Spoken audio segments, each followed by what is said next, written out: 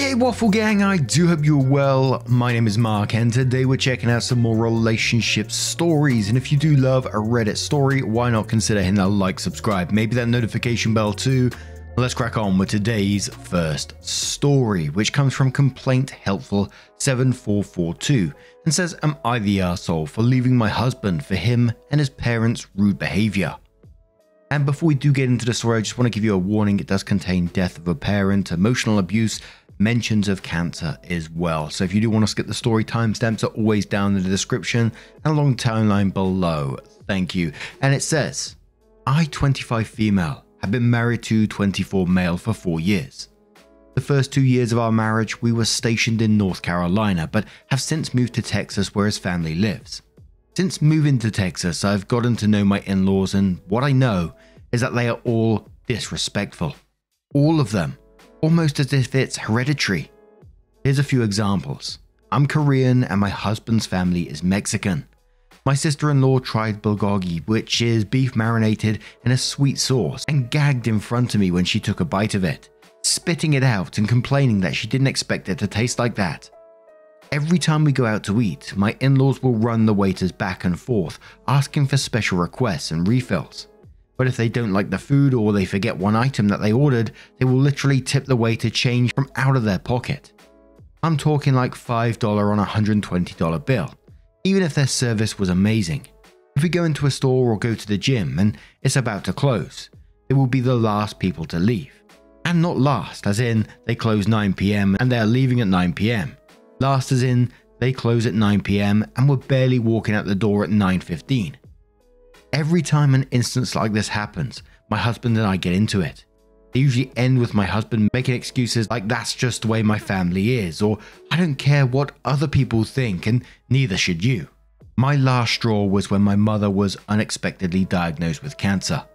I flew back to my home in Korea to take care of her for a while when she was getting her chemo. I stayed for two weeks before needing to go back to my home in Texas for work obligations, and can you guess who never once reached out to me the whole time I was there? Yep, my in laws. Not once did I receive any call or text message. Not even when I came back did the topic of my mum come up. My husband told me he told them about my mum. So I don't understand why no one could have just checked up on me or at least called my mum. The next time we saw my in laws was the next day I came back from Korea. They were over for dinner.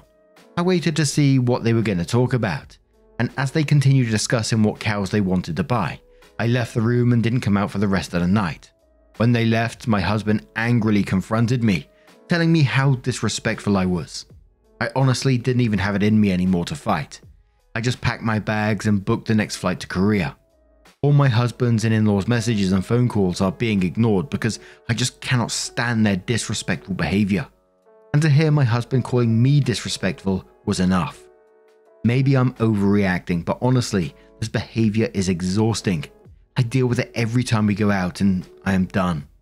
I don't want to be surrounded by people like this and I'd rather focus my attention on my mum. Am I the asshole? And we're going to start in the comments with Reward Hungry, who says first, beef bulgogi is delicious. Second, it seems like your resentment and frustration had been steadily increasing over time. You expressed your frustration. Nothing changed or excuses were made. The reaction to your mum's diagnosis is the straw that broke the camel's back. How was your husband when you went to Korea for two weeks? Not the asshole. Eva says sometimes the little things add up and become big things. Your husband calling you disrespectful is not cool. Go take care of your mum, just also be aware that any debt your husband incurs while you're still married is half yours according to US law. So you may want some kind of legal separation or divorce file to prevent him trying to stick you with some crappy credit card debt. Not the asshole for having standards around behavior and for tipping adequately. That's just human decency. I wish more people did. Chevely says, while they do sound a bit disrespectful, if this is all that's wrong with them over a period of four years, I think you could do a lot worse. Speaking from personal experience, you also amp up the worst situations in your mind to make them even worse. As a European, I have a hard time gauging how bad tipping out of pocket is. I rarely, if ever, tip anybody for doing their job. I'm probably as likely to tip a waiter as you are to tipping your mechanic or supermarket employee. Sis Era says everyone sucks here. They were most definitely disrespectful, and your husband was dismissive of you feeling disrespected. But you played passive aggressive games and never once spoke up for yourself. You don't get to be mad that other people don't change their behavior towards you if you don't actually speak up. So you'll suck. Neglectasai says, Who the fuck doesn't like bulgogi? Honestly, not the asshole at all. They're clearly the kind of people who can dish it out but can't take it. They want to not care what anyone else thinks of how they act, but then they get their panties in a twist over you leaving the room. What entitled children? And the person telling you that you're overreacting is out of their mind. You have every right to be fed up with their behavior and refuse to tolerate it. You've put up with it for long enough as it is, and you've made efforts to find some kind of middle ground by speaking to and eventually arguing with your husband. None of them have displayed any respect for you or your feelings, including him. Why would you want to stick around for that? Also, I hope your mother is doing better. Now, first off, I've never tried bulgogi before, but it does sound very interesting. A lot of people in the comments saying it's absolutely amazing. And I'm also extremely sorry to hear about what your mum's going through and what you're going through at the same time at the moment. And there was a fair few comments on this one saying OP, you know, need to speak up for themselves, etc. And I know it's something I say often, but as I was reading it and, and going through it, and obviously I don't know their full relationship, but the, the, the question that always goes through my mind is what does this person bring into your life? It sounds like you're being treated as second best in your relationship. When you're being disrespected, you're being told, that's just how they are, but family.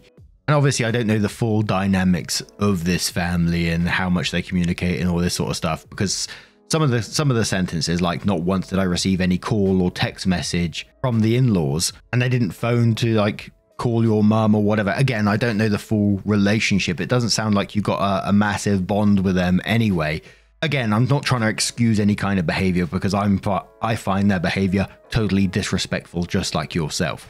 I know if any of my sister-in-laws, their family is ill, and next time I see them, I'm definitely asking them or on contacting them to ask them how they're doing and how their family member is, etc. And if there's any way that we can sort of help them and all that kind of thing. But the fact this is being turned around on you sounds like time and time again. And like one of the comments says, it sounds like it's been building up for a while. But it gets turned around on you every time, and you're the one that's being called disrespectful. I can't blame you for feeling the way you do. OP adds a reply to someone on this one and says, Thank you for all your responses, those that agree with me and those that don't, because it allows me to see other sides of the situation besides my own. I just wanted to clarify a few things real quickly. One, I did not divorce my husband. I'm staying in Korea for the time being. Two, for those of you asking, my husband did not call me while I was in Korea the first time. Any conversations we had was initiated by me. He did not reach out to me, nor did my in-laws. So OP does update the post and says to clear things up a little. The situation happened over a month ago, and I've been in Korea ever since. My husband and I did not get divorced, but we had talked things out and decided I needed space to take care of my mum first, and whatever problems that we had can be discussed at a better time. As for my in laws, I haven't spoken to them since. I really wanted to work things out after reading a few of the comments saying my in law's behaviour is not the fault of my husband. I thought that maybe I was being too judgy over behaviour that I'm not used to. That maybe they're not all bad, but they just have a few faults. As for my mum, she hasn't been doing so well. She's been losing a lot of weight because she says that everything she eats tastes like metal and she's been in constant pain. It's gotten so bad that she can't even get out of bed by herself. On top of that, I'm having a tough time watching my mum struggling and feeling like I don't have anyone on my side during this time, especially since my husband's family still hasn't reached out to me. Last week, my husband reached out to me telling me that his mum had tonsillitis and was going in for surgery. Reluctantly, I reached out to her and told her that I'll be praying and wishing her a safe surgery. I even had the hospital's gift shop send flowers up to her room because I couldn't be there. I figured that maybe they just weren't the type of people to reach out and that I should put whatever happened in the past. My husband expressed how grateful she was and how happy she was to have received the flowers, hoping that I was doing okay in Korea. Unfortunately, I wasn't. Fast forward to a week later, my mother's condition had gotten so bad that she lost her battle with cancer and passed away. I told my husband what happened, and he was in just as much of a shock as I was. He said that he was sorry, telling me how much of a good mother she was and how happy she must have been to have me by her side during her last few days. We were preparing to get the funeral done in the next few days, so I asked my husband what day he could be here. He was hesitant on the phone, saying that he felt bad for my mother and all, but he also had his mother to worry about. How he needed to be there for her, just like I was there for mine. I was in complete shock and just hung up the phone. He is missing my mother's funeral to take care of his mother who had tonsillitis surgery a week ago. Unbelievable. Any chances I ever thought of giving him was completely out the window. It was insane to believe that he felt like his mum recovering from a minor surgery was more important than the death of my mum and his mother in law. I'm not saying that tonsillectomy isn't important, but I'm sure she'll recover just fine, as it's a very common surgery, and the downtime is one to two weeks, and it's already been a week. As of now, I've hired a lawyer to discuss divorce and I'm going to therapy. I plan on going back to the US to end things with my husband, quit my job and take my stuff back with me after my mum's funeral. As for his family, I haven't heard from them. Shocking, right? Whatever, I'm just glad to be done with him and his family, and I'll be able to focus on myself and my mental health. And a comment calls OP out on saying, you know, that it's not a dangerous surgery or whatever, and, and, and says, you know, having a tonsil out as an older person is pretty dangerous and people do die from it. And OP says, Yes, I understand that now, that it is not minor, but she is fine and already back to her job working. I should have mentioned that. And for me, as I was feeling whilst reading the story, I may be right or wrong. As I said, I don't know the full ins and outs of the story. I'm just going for how I was feeling whilst I was reading it. It just always felt like a build up of this behavior throughout a period of time that, that this has been building up to this explosive point basically always being treated like second best and, you know, not considered by people that should be supportive towards you. I totally get why you've totally checked out of that.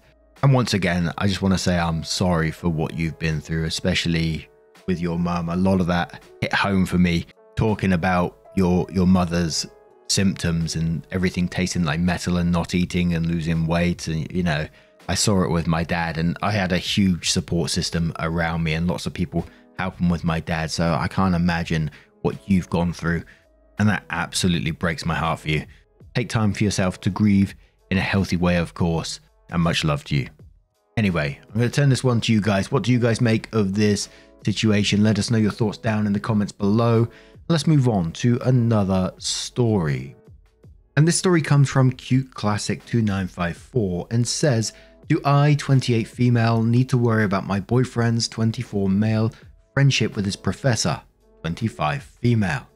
And it does come with an update as well. My boyfriend, 24 male, became friends with his former professor, 25 female, sometime last year. I don't know what to make of it. They seem to be friendly and talk consistently every week, and from what he tells me, it's usually very surface level. Sometime last year after the course ended, my boyfriend, his professor, and some of his male classmates went somewhere to eat together. My boyfriend brought up that he was going to be attending an event, plastic modeling show, and his professor showed interest and invited herself to the event and asked if she could stay at his Airbnb with his friends. My boyfriend and his friends were all okay with it. I unfortunately couldn't attend the event, but from what my boyfriend told me, he and a few of his friends met up at their Airbnb. That same day, his professor comes to my boyfriend's Airbnb and tagged a few of her girlfriends along. I believe they all stayed in the same place. The next day, they go to the event, went to a bar afterwards and got drinks. A lot of them, except my boyfriend, got pretty drunk, and my boyfriend took the liberty of being the designated driver for his professor and her friends. His professor won some model kit from the event, and even in a drunken state, asked my boyfriend if he could stay up with her to work on the kit together. From what my boyfriend tells me, nothing else happened that night. After the event, everyone from that group created a group chat and they continued to plan and talk about future events together. Since then, my boyfriend and his friends had met up with his professor and got to meet his professor's fiance at the anime convention, and it sounded like they all got along well. His professor continues to express interest in other events, and it sounds like she may be attending another event with my boyfriend and his friends in the near future. I trust my boyfriend and don't think he is hiding anything from me. Honestly speaking, I think it's hard for me to understand their friendship as it's his professor. I've had a conversation with him on this, and he let me know that I have nothing to worry about. I would like to hear others' opinions and see what you all think of this friendship. Is this something I need to be concerned about, or is it really nothing? Thank you all. Edit The professor was my boyfriend's former professor. She's classified as an adjunct faculty and works as an accountant as a full time job, which explains why she is a young professor. My boyfriend has not graduated college yet and is still a student at his university. So Happy Procrastinator says to the OP, you should go to one of these events with them. I don't understand why you are not being part of it. OP says, I do struggle with social anxiety, so it makes me uncomfortable to be sharing a space with a lot of unknown people. I'm hoping to go to the next event though, since it's local. Happy replies to and says, Just go. I experience social anxiety too, especially because I'm an introvert. But when I go to social events, it turns out it's never as bad as I expected, especially if I go with someone who cares about me. You need to go to see their interaction. OP responds saying thank you, and I agree. I've also learned that it's not as bad as it seems, and if it is, you always have the choice to leave. My boyfriend has reassured me that he will be there with me, so I feel better about that. Altruistic 2 says, I don't like it at all. Not so much from his side, but from hers. Her social interest and engagement with students is grossly inappropriate and unprofessional. Staying at their Airbnb, getting drunk and staying up with them when she stays with them, and then continued socializing. She has no concerns for boundaries, Sounds like she's absolutely loving it. This isn't just a female friend, it's his teacher, presumably not an actual professor because that's too young. I don't know how long his course is, but if it's for a long time yet, I'd ask him to keep friendship at a minimum. OP says I'm totally with you. I'm also quite confused of her choice of friends. I'm not sure why, of all places, does she choose to share an Airbnb with a former student and to be drunk with them. She's classified as an adjunct faculty, so she is a professor but is part time. She works full time as an accountant. The whole situation feels weird to me. Individual says you seem kinda hung up on the professor part, but if he's not in one of her classes now and won't have to take one of her classes again, then it's not that crazy. If a kindergartner is 6 and his teacher is 7, I wouldn't be too surprised they might become friends. That is not to say I think it is okay, because I don't. Everything could be above board, but I'd also be a little uncomfortable if I were you. How can someone be a professor at 25? OP says, yeah, the fact that she was his professor is what is weird to me. Like, this is just not a friend he made in class. This is a person who held a higher position above him. I currently work in higher education, so this situation just strikes me as uncomfortable for sure. And then says about the adjunct faculty. So around a month and a week later, OP updates and says my boyfriend had a more of a heart-to-heart talk regarding his teacher, and he recognizes that it crossed some of my boundaries. He believes that she may be behaving the way she does because when she hangs out with her, her fiance's friends, she gets bored with them and may possibly be seeking attention from other people. Several weeks later, my boyfriend had a conversation with his college instructor regarding their friendship and told her how I didn't feel comfortable with their friendship and how he thinks they should keep communication at a minimum. She brought up how she understands because her fiance also had an issue with how she chose to share an Airbnb with my boyfriend. She mentions to my boyfriend that she sees him as a brother, and that's why she feels really comfortable with him, but that she will try to respect my boyfriend's wishes of keeping conversations at a minimum. Well, even after that talk, she continues to still message my boyfriend weekly on random life updates. Because she is also part of my boyfriend's chat and Discord, one of his friends invited her to attend another plastic modeling show. It occurred recently, and dinner. Since she accepted the invitations, I chose to attend as well, so that I could personally meet her. The dinner occurred first, and it was very uncomfortable because she practically ignored me the entire night. When she joined us at the table, she greeted my boyfriend but didn't say anything to me. Even my boyfriend noticed and got annoyed, but then introduced us. She got increasingly drunk throughout the night and was saying random stuff about my boyfriend to his friends like, he could have been the best student in my class, but it's because he missed some assignments, and Boyfriend's name gave me a 5 star review on Rate My Professor. She ended up not going to the show, but my boyfriend had a chat with his guys and they told him that they want to respect my feelings too and make it a guys' night next time. I would like to hear others' opinions and see if you also think she is acting suspicious. Someone just comes right out and says to OP she wants to have sex with your boyfriend, she's crossing major boundaries, and has he stopped the conversation with her? And OP says, wouldn't be surprised if that is her intention, because there's definitely some shady people out there. I agree she is crossing some professional and personal boundaries, and I think it's quite unusual behaviour for any teacher to act like that. Yes, he has stopped communicating with her. She was consistently messaging him until last week, so hopefully she got the memo. Now, firstly, I'd never heard of a plastic modelling show. I looked that up, and that looks cool as hell. And I got to say, you know, I'm not very clued up on all this sort of stuff, but it did feel very, very inappropriate to me, that whole relationship. And the fact that the, the first time you meet her, she ignores you and starts treating you in a specific way. It, it kind of said it all to me, really. I feel like she was crossing boundaries and, you know, she confirmed yours and my suspicions when you finally met her. And when she said she actually looks at the boyfriend as like the brother, I was like, hold on. but what do you guys make of this situation? Let me know your thoughts down in the comments below. And just a huge thank you from the bottom of my heart for getting involved in today's stories. Your love, your support, your time always means the absolute world to me. So thank you so, so much for being involved. And hopefully, I will see you in the next one. Take care and much love.